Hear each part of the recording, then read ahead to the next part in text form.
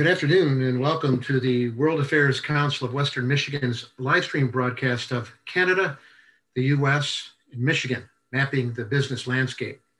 It's in partnership with the Council corporate member Warner Norcross and Judd, and is part of the World Trade Week 2021 events. I'm Michael Vendetti, I'm the Executive Director of the World Affairs Council, and on behalf of my colleague Erica Kubik and the Board of Directors of the World Affairs Council of Western Michigan, I welcome all of you. Thank you for adjusting with us as we program responsibly during this time of COVID 19.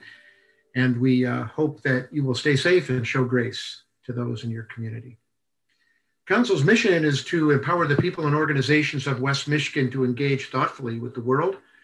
We do this with the help of over 50 regional companies, 11 Michigan colleges and universities, and many community members. Together, we seek to provide programming that is credible, objective, relevant, civil, and compelling. To change the world, we believe, one must first know the world. And you can learn more about what we do at worldmichigan.org. This program is in place of our annual consular luncheon that we are pleased to do as part of World Trade Week in conjunction with the Grand Valley State University Van Andel Global Trade Center and we're grateful for our collaboration with that fine organization. There's still time to register for tomorrow's World Trade Week sessions, and you can do that by going to gvsu.edu slash WTW, and you can get the links for doing so. We're also very grateful to Warner Norcross and Judd for its long-standing support of global awareness and education in our community. Representing Warner today is Tim Horner, partner at the firm and he will welcome our special guest. Tim?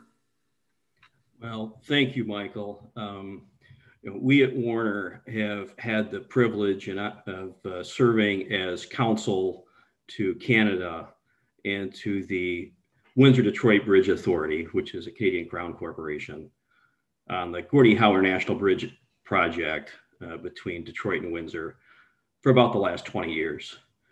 And I have to say, you know, throughout that period of time, we've just had so many opportunities to interact with, uh, interface with, work with uh, the Canadian consulate in Detroit on so many issues and so many matters, not only pertaining to the Gordie Howe National Bridge project, but to other projects in Michigan as well.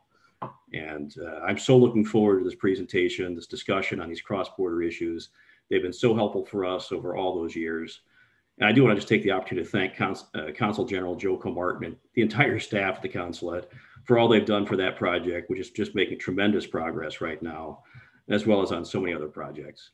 And uh, I'm really looking forward to this presentation. And with that, I think I'll turn it over to you. And what I think is being billed is the uh, Joe and Scotty show. So thank you. Thank you, Tim. Thanks again to Warner. Our format today is straightforward. We'll hear some opening comments from Council General Comartin, and then from Scotty Greenwood on the business landscape between Canada, the US, and Michigan. And then you'll have a chance to engage them in conversation about issues important to West Michigan. You may type questions into the YouTube comments section, or you may text them to 616 308 6560. Remember our house rules of the council to ask your questions succinctly and respectfully. Consul General Joe Comartin was appointed as Canada's Consul General to Detroit in the autumn of 2018 and is responsible for the states of Michigan, Ohio, Kentucky, and Indiana. His uh, career spans the private and public sectors, and most recently in academia. Mr. Comartin began his career as a civil litigation lawyer in Ontario, where he focused on criminal, family, and personal injury law. He was instrumental in founding the Canadian Auto Workers Legal Services Plan and served as managing director for the Windsor Essex region. He also helped establish cooperative housing and the CAW Child Care Center. He entered Canadian politics in 2000, serving as a member of parliament for 15 years. Highly regarded by his fellow MPs from all parties, he was thrice recognized as Canada's most knowledgeable parliamentarian. In Parliament, he rose to several leadership positions, including Opposition House Leader and Deputy Speaker of the House of Commons. Upon leaving elected office, he became a distinguished political scientist in residence at the University of Windsor, where he taught ethics and reform in Canadian Parliament and constitutional law. Consul General Comartin, we are so grateful to have you back. Welcome to West Michigan. Thank you, Michael. Uh, thank you for those uh, generous uh, introduction points. And I'd also like to thank uh, Tim for his comments. He's, he's right about the long-term and very close relationship between his firm and, and the consulate here in Detroit. It's been a very uh, fruitful one for both sides, and we appreciate the relationship. Um, as as uh, Michael said, I'm responsible for four states. Um, although we're based in uh, right in Detroit, uh, right at the border uh, of the Detroit River, um, it's uh, we have responsibility for all four states, and one that um, is a, a, very important one because of the extent of the trade between our two countries. Um, but our relationship between Canada and the United States is much more than just a trading relationship. I lived in the Windsor Essex County area, right across from Detroit in Ontario, all my life. And uh, I know what it's like to uh, be part of this community uh, between Ontario and Michigan in particular um, it's more like a family relationship than it is an economic or a business relationship. And, and we see that permeating the relationship in many, many ways. We share stewardship of our waters. Um, we have a reliable and accessible energy trade. We have very important and essential supply chains, particularly in the manufacturing and auto sector. And I think most importantly, we have the longest safe and secure land border of any place in the world. And that again is a testimony to the very close relationship and very important relationship between our two countries. It ends up when you look at that relationship on the on the economic side to one of the most if not the most successful economic partnership of any place on this planet I'm going to spend just a couple of minutes now, Michael, and if I can pull up the first slide uh, to set the, uh, uh, the, the context of the relationship uh, in terms of the economic one. Uh, so as you can see on the slide, Canada is Michigan's number one customer. I asked the rhetorical question. Uh, I think a number of you may know some of this, but 394 Canadian owned businesses employ 30,344 people in Michigan. These are 2019 figures. Um, we sell, uh, uh, Canada, Michigan, I'm sorry, sells to Canada um, more than its next seven largest uh, foreign markets combined. And specifically, if you just look at China, the UK, and Japan combined, Canada sells more to Michigan than those three countries, those huge economies. Next slide, please. If you look specifically at some of the factors with regards to Michigan and Canada. Uh, Michigan exports 17.3 billion in goods and 2.3 billion in services to Canada each year. The top Michigan exports, no surprise here, trucks, automobiles, and auto parts. That totaled $8 billion. And vice versa, Michigan services export for 2020, the they, that amounted to uh, in transportation services to 1.3 billion. Next slide, please. Again, Michigan imports 33.3 billion in goods from Canada on an annual basis. The top Michigan imports, again, no surprise here, from Canada into Michigan, automobiles and automobile parts, huge numbers. A very clear reflection of just how important this trading relationship is. I'm going to stop at this point and turn it, Michael, back to you so you can introduce my partner in crime here and uh, looking forward to her uh, her presentation as well. Thank you, Consul General. Maryscott, Scotty Greenwood is Crestview strategy partner and managing director of its U.S. efforts. A former American diplomat to Canada and a frequent media commentator and public speaker, Scotty serves as a business and public policy advocate, communications expert, and political strategist to Fortune 500 companies, trade associations, and nonprofit organizations. Chief Executive Officer of the Canadian American Business Council, CABC. She has repeatedly been recognized by Canadian Newsweekly, The Hill Times, which named her one of the country's top 100 people influencing Canadian foreign policy and the top 100 most influential people in government and politics. 2001, Scotty spent four years as chief of staff of the US Embassy in Canada, having been offered the diplomatic posting by President Clinton. During this time, she received the State Department's Meritorious Honor Award for innovative outreach programs to US governors and Canada's premiers foster cooperation on issues of mutual concern. From 1993 to 97, Scotty was the Director of Intergovern- Intergovernmental Affairs for the City of Atlanta handling state and federal relations. Before Scotty greets us, we're going to show a short clip from the CABC so you get a better idea of that organization's outreach.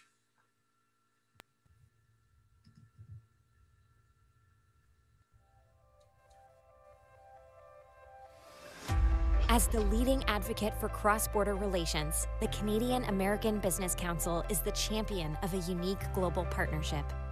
That partnership built on a long tradition of common ground extending beyond our borders and into the deep roots of friendship.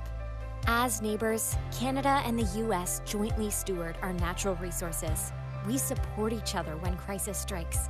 And when differences arise, the CABC is there, ensuring the shared interests of our partnership continue to stride forward. Comprised of entrepreneurs, thought leaders, and executives from some of the most recognized brands in the world, we set the table for conversation between business leaders and policymakers. And now, we stand positioned to continue building on this exceptional relationship, ensuring that we face the world's greatest challenges together. Well, hey there, everybody. Thank you, uh, Michael, and uh, thanks thanks to the World Affairs Council uh, of Western Michigan. You know, I love World Affairs Councils. I I, I love to um, to interact whenever I'm invited. I was on the board of the DC World Affairs Council for many years, and uh, I just think it's such important work that you do and dialogue that you facilitate. So I'm a huge fan and, and appreciate it very much. I want to say happy trade week. Uh, didn't realize it was trade week, so that's good to know. Um, what I know is it's the end of the quarter uh, for our kids at school. So like my, I'm, I'm still uh, on the academic calendar uh, in terms of what weeks we celebrate. So everybody's studying down around here. Um, I'm glad in that in that particular intro video we had Debbie Dingell. Like you, you know, you always want to make sure uh, that that in your canned stuff there's somebody that everybody can relate to, and it's just lucky uh, in the little Brady Bunch photo at the end that we have a wonderful leader um, from your neck of the woods. Uh, anyway, really great to be with you and looking forward to the conversation. Um, ask us anything, throw anything at us. You know, uh, the consul general will take the hard questions, and uh, and I'll take everything else. Um, eh, you know, it, in the the introduction, um, Gordie Howe Bridge, uh, you know, came up, and I just want to say I, I think that is one of the iconic symbols. Um, the first starting with the Ambassador Bridge, and now with the Gordie Howe Bridge thinking about how interconnected um, our countries really are and how vital and critical Michigan is in, in, in all of this. I mean, the, the Ambassador Bridge, you know, carries more commerce um, in it, this one bridge, uh, than the entire U.S. relationship with Japan. There, Joe put some statistics up. There are lots of statistics to be had, but but really excited about about um, the Gordie Howe Bridge now. And I will give you a little bit of inside news that hasn't been announced yet, but uh, the Canadian American Business Council is going to launch a podcast on Canada US relations. Um, we're probably going to launch it right around Canada Day, 4th of July. And so we're recording episodes now. We're, we're partnering with the Woodrow Wilson Center for Scholars, which is another group here in Washington, D.C. I'm, I'm in the nation's capital here um, actually Arlington, Virginia, so just outside for those of you guys who travel here. Um, but anyway, uh, the Wilson Center, the Canadian American Business Council are, are launching um, a podcast series. We're calling it Canusa Street at C A N U S A Street. Uh, and it's all about, we take one issue each session uh, one Canada U.S. issue and really dive into it. And uh, so Gordie Howe is one of the issues we, is one of the sessions we just recorded, and um, and and really looking forward to launching that. So we'll be sure to to let everybody know, and you can um, you can check that out. And, and just by way of also uh, a little advertisement here at the top, I would love to stay in touch with people. It's a little funny in these in these scenarios. I can't see everybody on screen, but if you if you um, you know reach out on social media or on LinkedIn, just just you know put the little reminder of WAC Western Michigan, so I know I know where we met, and I'll and I'll accept the connection. I'm sure Joe's team will do the same. So so the Canada-U.S. relationship is is interesting. Um, it's it's it's quite impactful and it's something that for years and years and years canadians sort of said to americans like you take us for granted right and um, i used to say back kind of flippantly be careful what you wish for because if the us is focusing on you it's probably not good and then what we saw over you know recent years was there was some focus uh, from washington uh, on Canada, and it wasn't positive, right? There was a there were we we sort of weathered, you know, big a big tariff dispute with steel and aluminum tariffs and with counter retaliation, and and so that that wasn't so great. But I will say.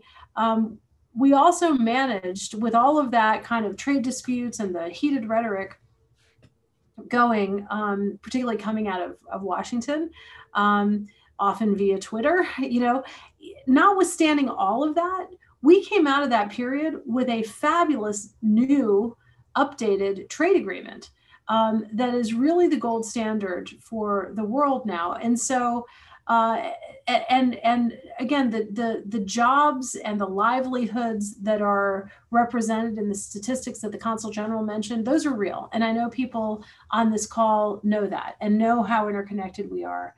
Um, we are interconnected uh, on this piece of common ground that we share, our waterways, you know, and watersheds, and and our people. So, so we have we have a lot to be proud of in terms of um, of our commercial relationship, but also our interconnectedness and how we approach ch- world challenges together. So, um, you know, with the new administration here in Washington, um, the first phone calls that the president the vice president and many, many members of cabinet made were with their Canadian counterparts. And the first big bilateral meeting, even though it was by Zoom or, or by, you know, whatever the platform was, virtually, um, it was with Canada.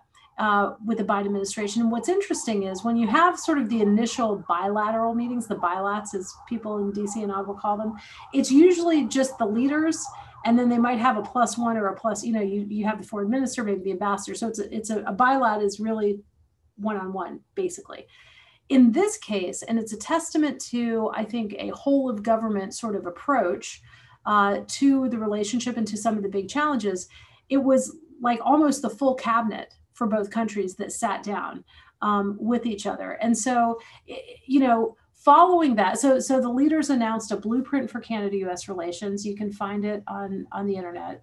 And then and then since then and remember you know the biden administration's only been around for a hundred and something handful days right so it's still pretty new um, but but since then that bilat there have been you know, there's been outreach between counterparts. So the, the US Secretary of Energy and the Canadian Minister of Natural Resources, and you can go right through uh, the, the, um, the agencies. And it just tells you how much Canada and the United States have to work on together. Um, I, I, only have one slide, and I wonder if we could bring it up. Um, and just to give a sense of the president, President Biden's infrastructure ambition.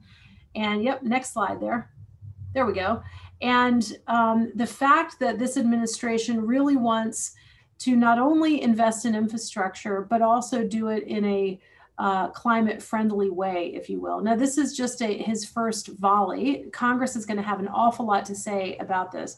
But if you if you want to look at sort of the proposals in Washington, um, you can go right through this slide and see um, what the U.S. is kind of thinking about and looking at. And um, I just put it up there uh, as a reference point because I think as the Consul General may be able to elaborate, for each one of these US initiatives, there is a Canadian sort of counterpart or element or element of collaboration. So you can you can take the slide down if you want now.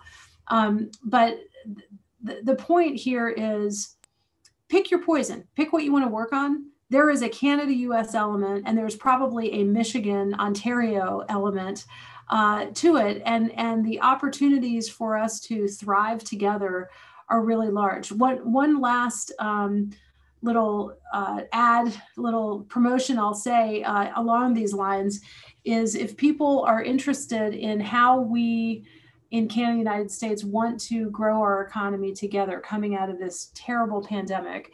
Uh, that we're that we're still in. Um, there's an effort that we've been involved in called North American Rebound. So it's the North American Rebound Campaign. A lot of chambers of commerce, businesses, and individuals on both sides of the border have signed up to say, you know what, no matter what happens, we're all in it together. And this is an effort that came up actually um, like a year ago when some some governors in New England uh, in in the United States were getting together saying we've got to we've got to source per personal protective equipment for our citizens and we don't want to compete against each other and drive up the price and all of that so let's form a let's form a block and we'll help each other and Quebec uh, in Canada immediately said wait a minute we're we should be part of that block you know we're we're we're actually linked together and so the Quebec uh, delegate general, uh, Joe's counterpart in the United States, and I were talking, and we said, you know what? Actually, it shouldn't just be Quebec and New England, but it's actually all the states and provinces. It's Canada and the United States.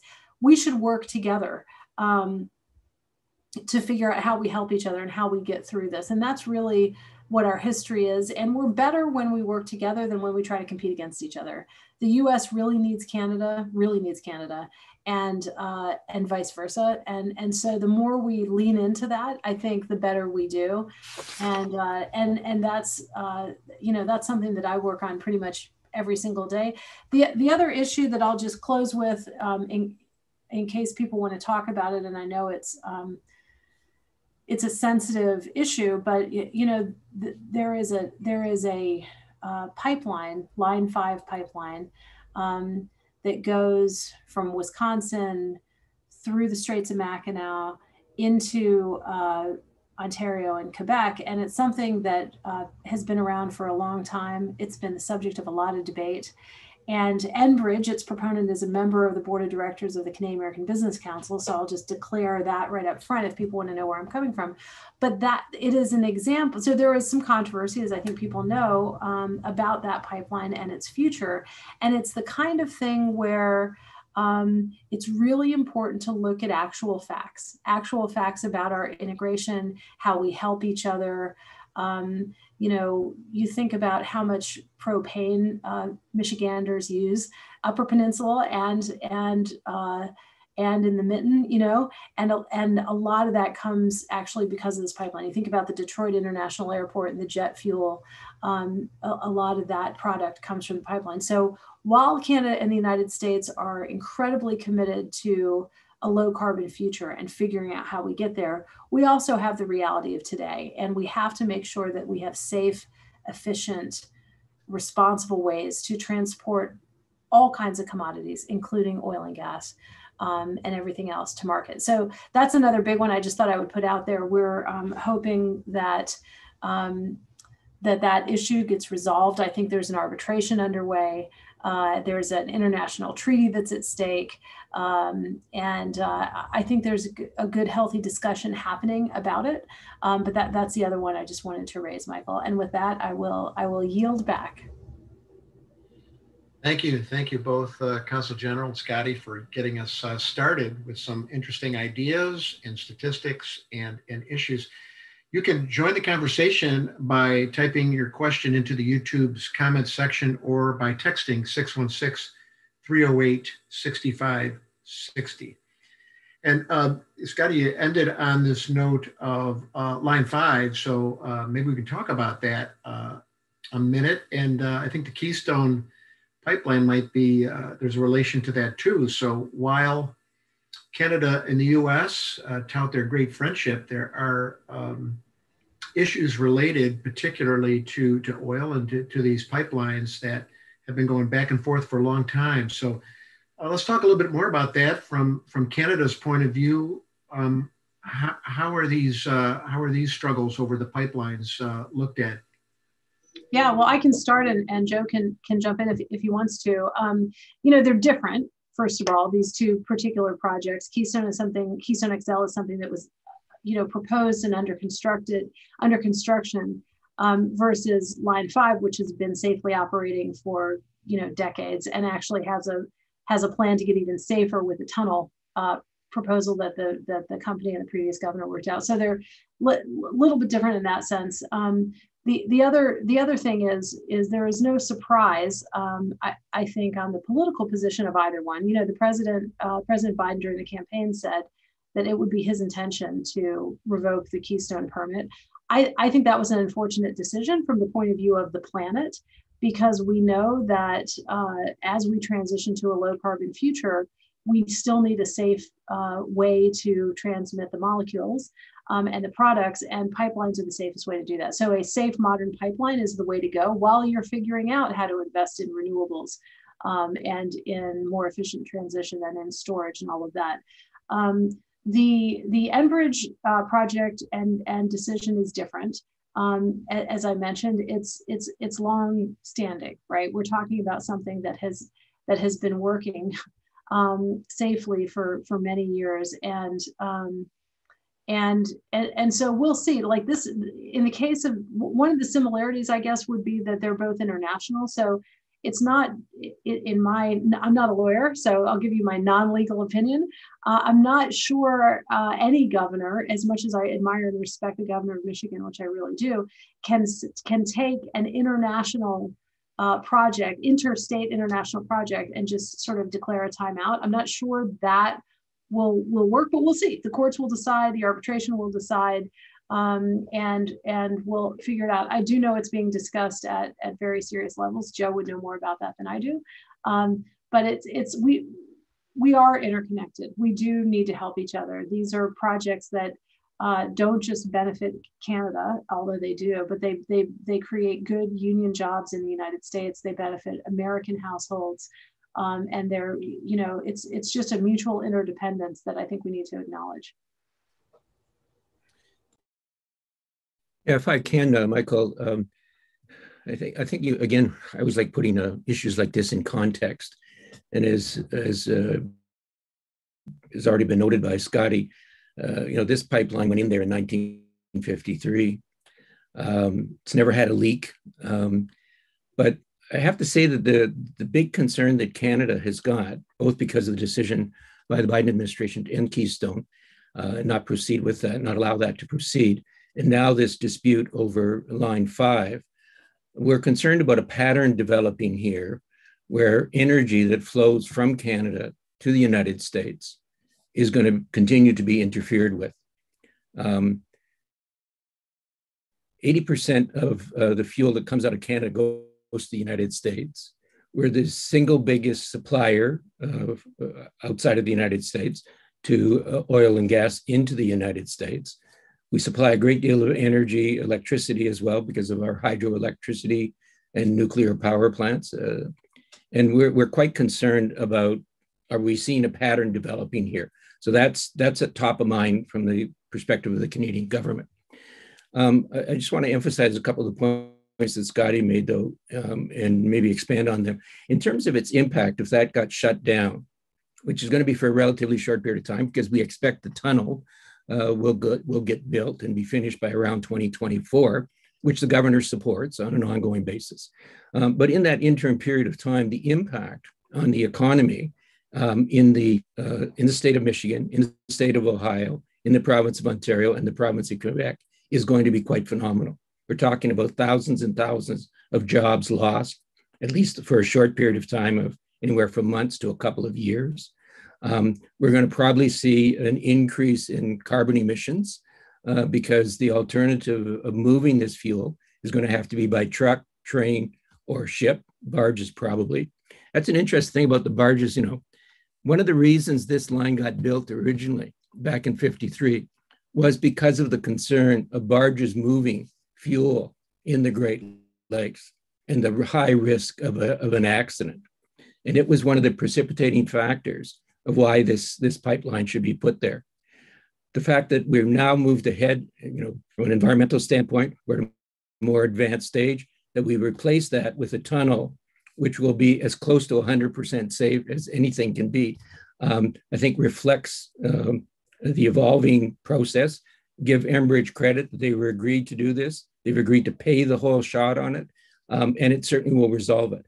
Uh, but the end result, if, if this thing gets shut down, major economic impacts to all those jurisdictions I mentioned, and probably some significant impact on the air quality in this region.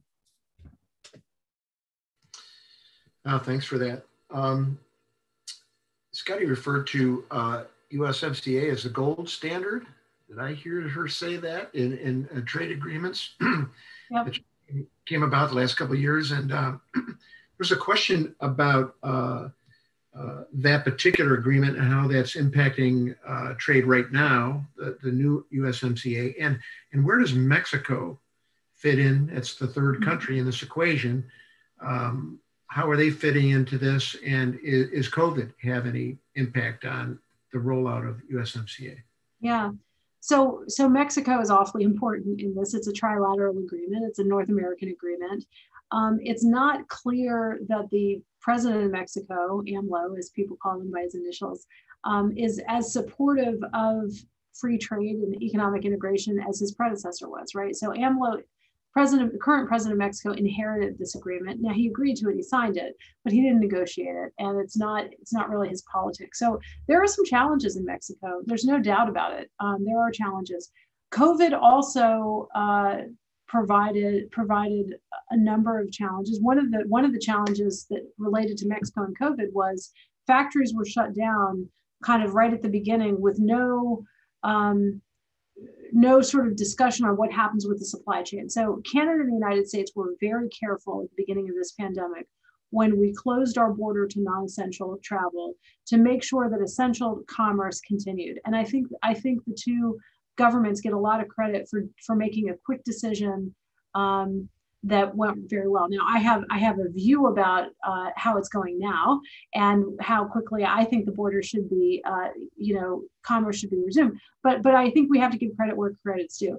In Mexico, it was less seamless, um, and and there were some decisions made um, in individual cases that had big impacts on the on the essential supply chain, and that wasn't done particularly well. So I I think. Um, I think we've learned a lot uh, through this pandemic, but I do think there are some challenges um, with full implementation of the new USMCA, particularly with respect to Mexico. They're, they don't uh, love the new labor uh, standards that uh, were insisted upon by the United States and Canada um, and will continue to be monitored carefully by policy uh, uh, makers. And so there's, uh, I think there, I think there's some, some real tension there.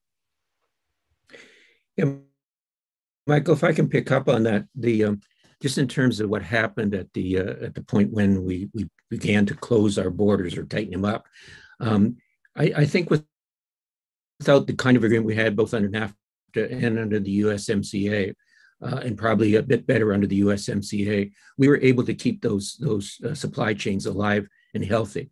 Um, the first couple of months, certainly there was a slowdown because we simply weren't in the manufacturing sector we weren't moving uh, nearly as many products because they weren't being uh, weren't being built. Um, but for instance, in the agricultural sector, those continue to flow on on personal protection equipment. Um, you know, very very high numbers of actually an increase in the exchange between our two countries, and that certainly would, would have been facilitated by the existence of the USMCA.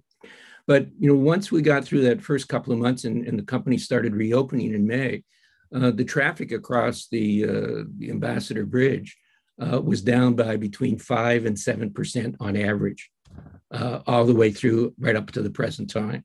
Um, and again, I think that's a reflection of the cooperation between the two countries, uh, really reflecting the spirit of the USMCA or CUSMA, as we call it in Canada. Um, that that cooperation in terms of deciding what was essential was done quite quickly, quite efficiently, and very effectively so that the supply chains were, were not interrupted. Now, I know that um, Scotty has some concerns about the existing situation.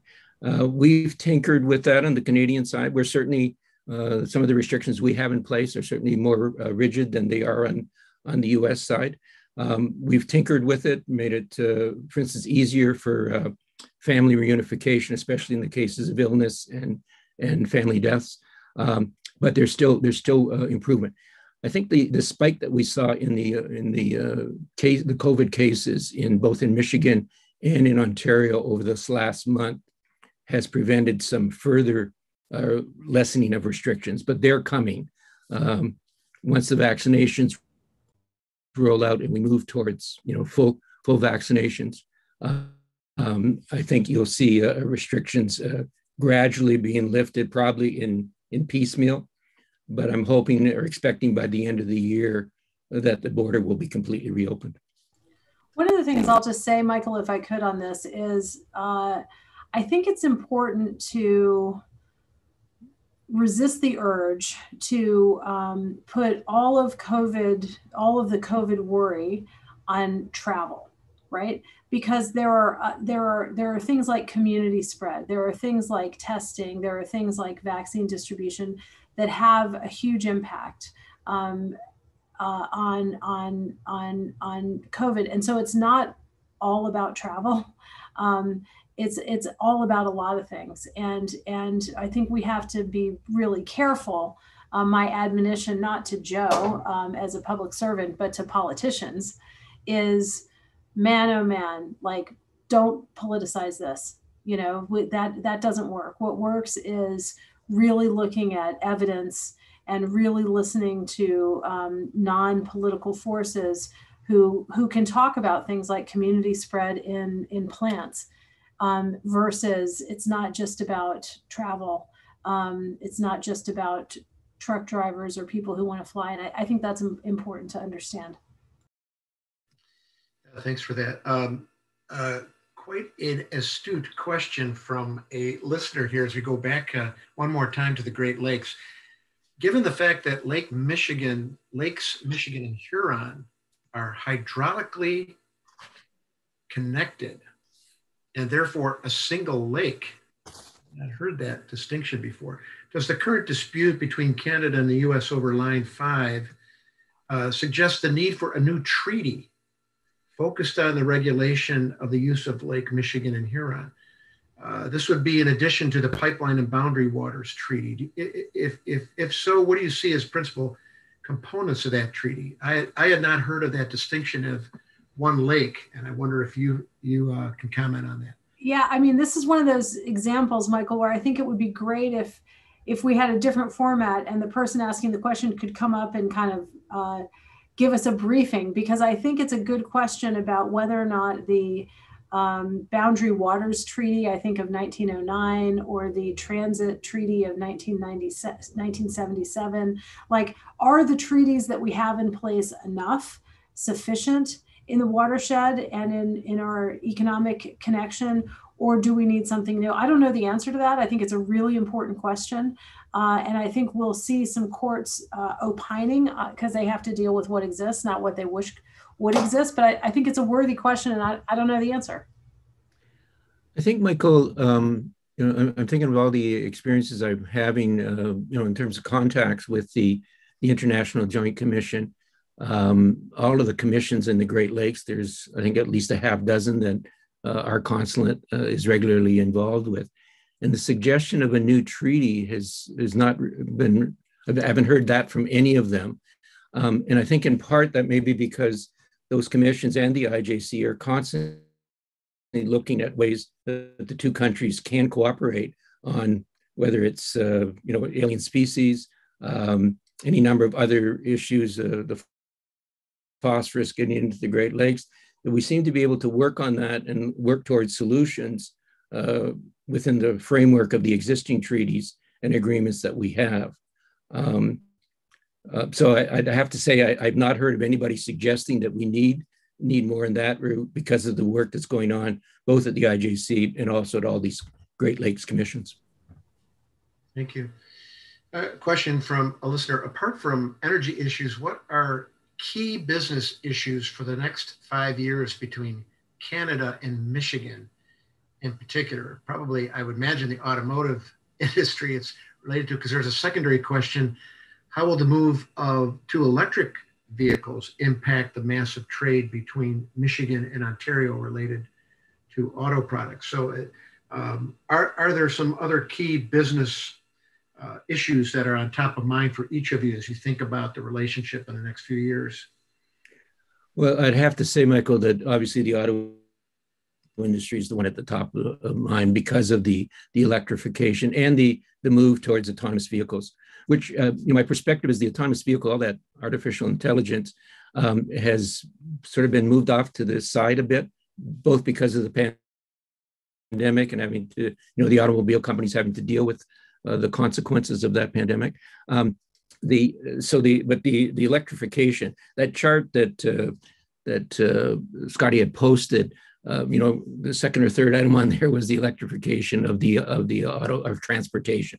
Um, and by the way, it's not just it's not just autos; it's trains and and boats and uh, and airplanes as well that we're looking at. But for this region, yeah, that's got to be the top of, mind for uh, for the work.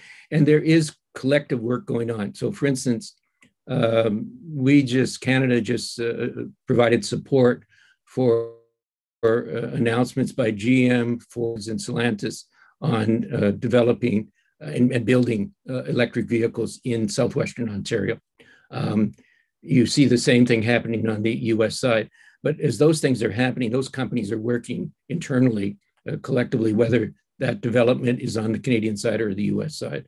And it's very extensive. The big item on it, um, I have to say though, is, is the whole issue of the batteries. Um, that, that there's a real scarcity uh, of capacity right now. Uh, that's going to be an expansive area. It's going to have certainly a, a big impact on employment uh, because we're going to be needing to open a number of plants uh, in this region uh, Midwest, all the way through southwestern Ontario, probably into Quebec on the Canadian side. So that that is very much uh, uh, going on now. Planning is going on. Uh, the developments are going on. If GM is serious about meeting the 2035, uh, all their vehicles being electric, um, there's a lot, a lot of work that's going to be doing and a lot of development work that's going to have to happen agree with that, Michael. In addition to autos uh, and uh, energy, I think you got to look at professional services. You got to look at digital trade, um, and th- and then you've got to look at agriculture. You know uh, uh how how we uh, help uh, feed each other and feed the world. Um, that a lot of that business happens in, in this part of the world as well. You know, Scotty, one of the things that we missed in the USMCA it was on the table at one time was the ability of certain uh, uh, trades to be able to move, uh, professionals, but trades as well to be able to move back and forth.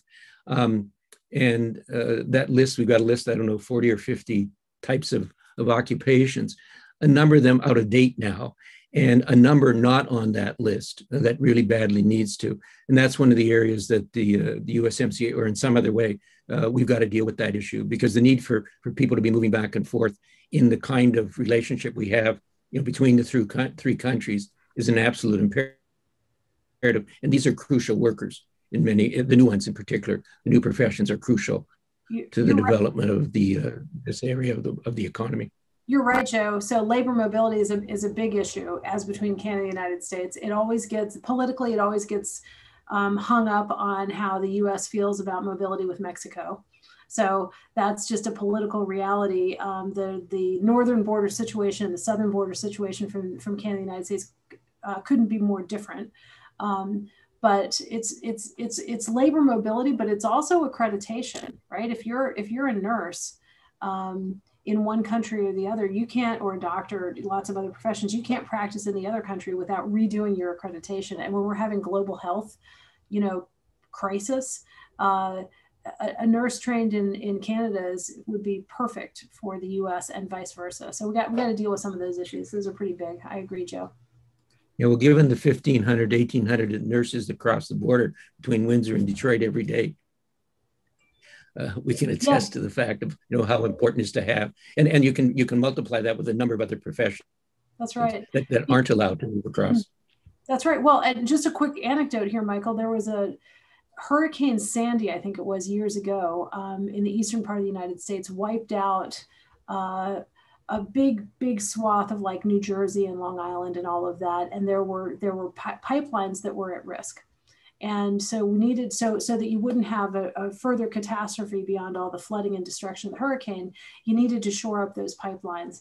And there were pipe fitters and pipeline workers just across the border in canada that were ready to come help and they were closer than any of the other rescue crews that would have come from louisiana or other parts southern united states you know they were two hour, a few hours away as opposed to days away and getting them across the border, getting them allowed to travel because of these restrictions that Joe and I were talking about was like I ended up having to talk to the Secretary of Transportation directly. You know what I mean? Like it went all the way up, and it's like, okay, wait a second.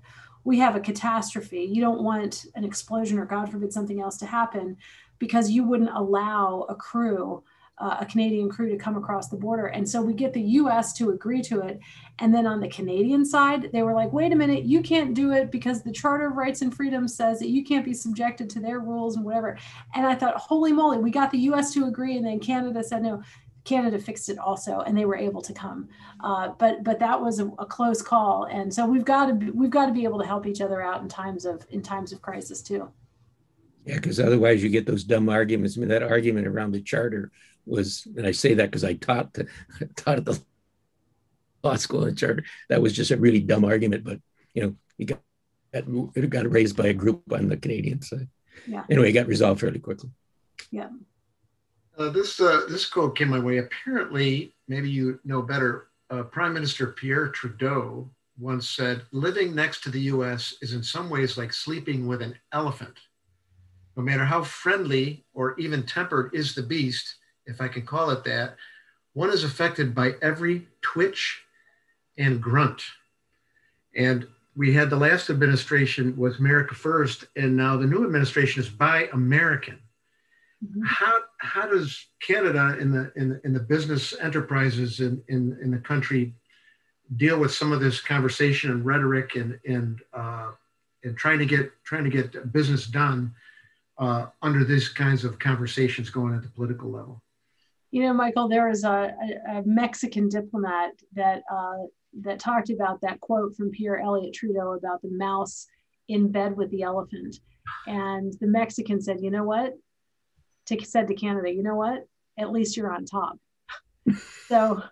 Um, I, I, think there's a different analogy with uh, for Canada and the United States. I think the elephant and mouse is, is, is outdated, with all due respect to the former prime minister. Um, I think we suffer from what I'll call the binocular syndrome. So we're, we're looking at each other through the same set of binoculars. So I'm Canada, I'm looking at you in the US, and everything looks bigger and closer than it really is.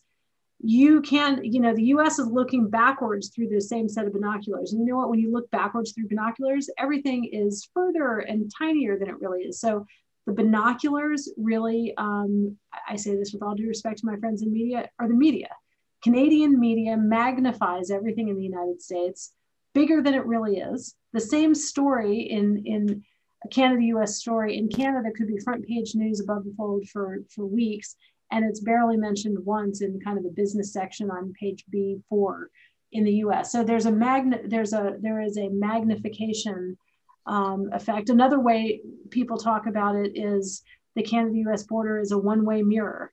And the US looks in the mirror and we see ourselves. Canada looks through the mirror and sees the US. um, so, uh, in terms of Buy America, look at it's it, this is this is something um, buy local is something that has existed for for decades, and it's it's really not new. And the instinct to if you're going to spend government U.S. taxpayer dollars to spend it on American companies makes a lot of sense. The question will be can the extent to which Canada is able to secure an exemption or a carve in so it's really buy US Canada, given the reality of our integration, um, more than it's buy American. Buy American typically is not, um, typically isn't focused on Canada. It's focused on like, let's make sure we don't flood our markets with uh, products coming in from like China or other adversaries. So I think I think there's a way through it. Canadian American Business Council, my organization, we're working hard on this. I know the government of Canada is working hard on this, and U.S. suppliers need to be able to to supply from trusted partners when they can't get it locally, and that happens a lot with Canada. Um, so I, I, think there will be a path through. It'll be a little bumpier than we hope, but I, I think we'll get there. I agree with that analysis, Scotty. I, I think the uh, uh, what we're looking at, Michael, just so the uh, listeners can understand this, the historically, you know, we've had these types of provisions at the federal level in the United States, in Canada, uh, and now Mexico to a great extent have been granted exemptions. Um, the target is, as Scotty says, is is you know China and Asia and in some cases Europe, um, and so uh, those of us who are part of the USMCA, part of this continent, have been granted exemptions. And overall, we, we've been, Canada has been satisfied with that.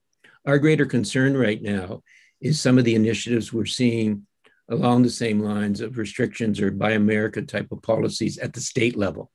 And, and there's not a similar history of those types of exemptions being granted to Canada or Mexico. So that's that's area that, that we're we're watching because we think ultimately will be and and I say that from talking to a number of the members of Congress and some of the Senate uh, from both parties. Um, they seem to be quite comfortable that the past relationship is the one that will continue on. That's at the federal level. Again, we've got more concerns at the state level. Well, and if I, I just hasten to add here with, with a great deal of love and respect for my Canadian distinguished diplomat, uh, it's not just U.S. states that practice buy local and buy America. There are there are little protectionist measures that erupt in, on, in, in other countries, including in Canada, and uh, and and sometimes you can't even trade within Canada between provinces. So just you know, there's a lot of work for all of us to do to become better practitioners of free trade. I may say it that way. I mean, Scotty, that point about you know, yeah, we have less problems actually with uh, trading with the United States than we do in some cases uh, within our own provinces, you know, from province to province. You know, we keep working at it, but we never get to a, a, a realistic solution. It's still a problem that means I can't get wine from British Columbia on any kind of an efficient basis right now. Yeah, you'll just have to drink California wine. Yeah. Well, I'm into the, you know, we got lots of wine right here in Essex County, and and we've got that up in the Niagara Peninsula.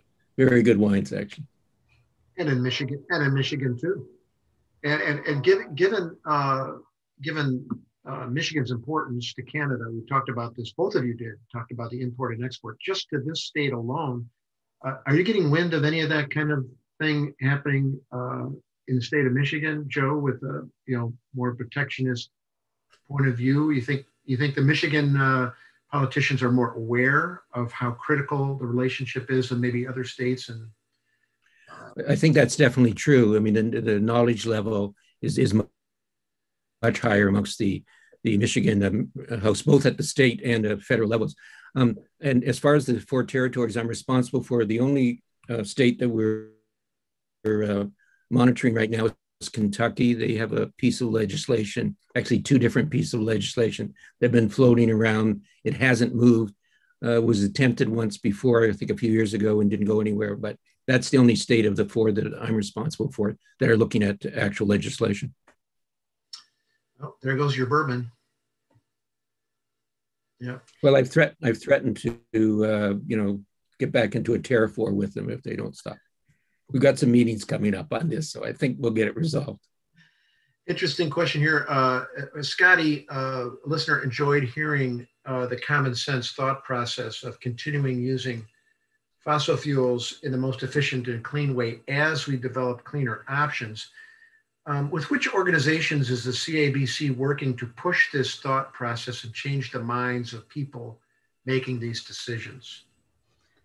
Thanks for the question and the comment. I think if you look at NorthAmericanRebound.com, you will see um, the organizations and that that are that are kind of aligned with us in this idea that we're in it together. In terms of the um, carbon transition and and the infrastructure uh, challenges, it's it's it's a motley crew uh, of, of different groups getting together.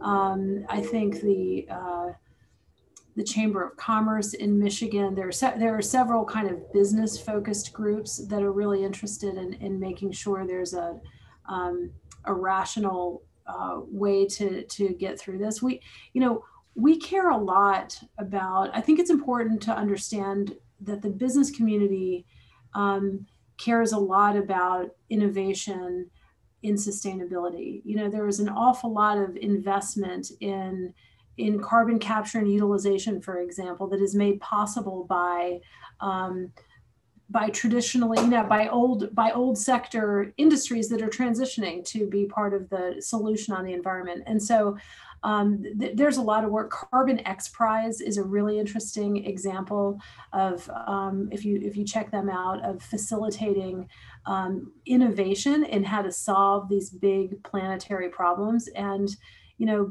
business has an absolute role to play uh, along with civil society along with activists um, in trying to figure out what the answer is. And, and we try to we try to engage you know in all fronts.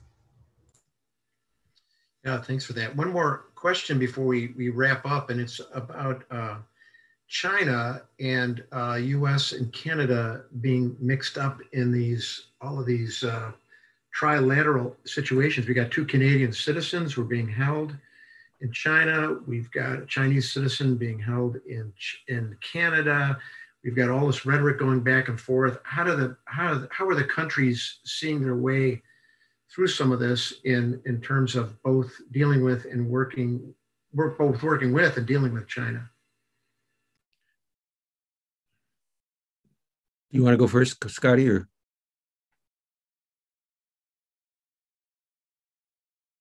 You, Scotty, you're on mute. On mute. um, the China uh, dealing with China is is is awfully challenging for everyone in the world, um, including its direct neighbors, uh, including including everyone in the world.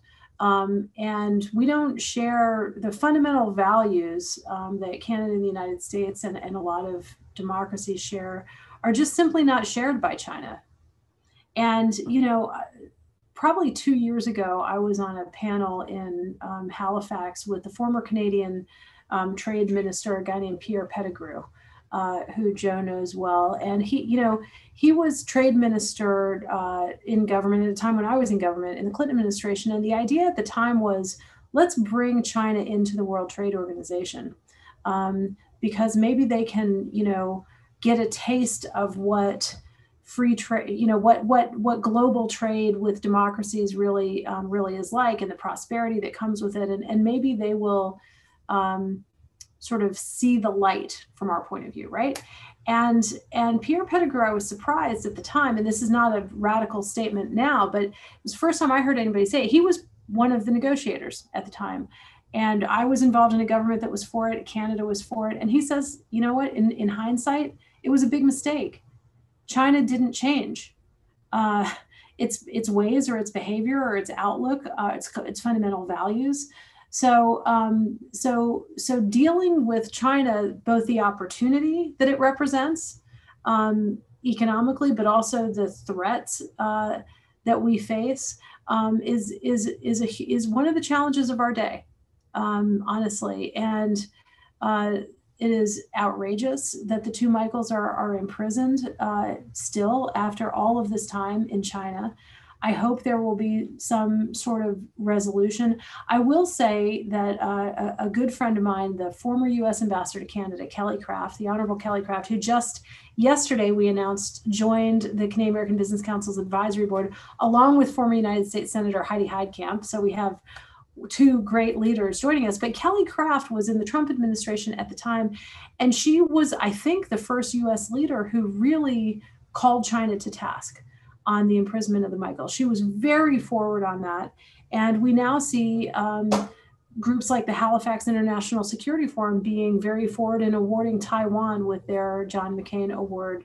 Um, so, so there is a lot of discussion uh, I don't know how this nets out. I will leave it to the diplomats who are involved in it. It's very sensitive. It's very important, and it, I mean, it's a really good question. And and it, there there aren't easy, direct, obvious answers. Well, one thought that has occurred is like, what do you do about China? A friend of mine, former Canadian diplomat named Colin Robertson, you know, he and I were, t- he knows a lot about China. He served there. He's written about it a lot. He's a big thinker in Canadian foreign policy. And I say, Colin, what can Canada and the U.S. do? You know like we, we don't want to you know what what what are some things we can do to really get china to think differently? And you know what he said? He said you know well one thing we could start with is there are a lot of high ranking chinese communist party leaders whose kids go to college in the us and canada and we could deny those kids visas for, to do that. And you know what would happen then? The mothers would get involved, right? and the mothers would say to the their husbands, what I don't know what you're doing in policy. Well, they're very sophisticated, but you know, but our kid can't go to school at the University of Michigan or uh, you know, at Georgetown or at McGill or at St. FX, and you better fix that. So whatever's bugging them that's screwing that up, I think there might be a way uh, to get some attention that way. And it sounds kind of goofy, but that's the kind of thing, you know, that that might actually, you know, might might actually help.